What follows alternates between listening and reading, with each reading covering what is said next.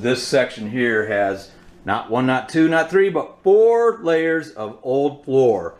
We've got linoleum, and it's horrible. We've got old tile placed right on top of that. Yes, somebody actually placed tile on top of linoleum, if you can believe it.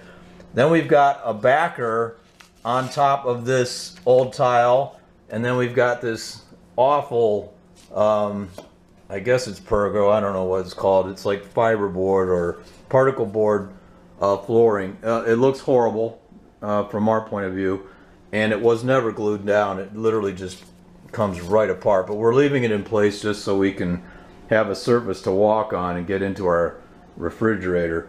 But when I'm done working on this section and I can move these uh, appliances over, then I'll get to this wretched area here.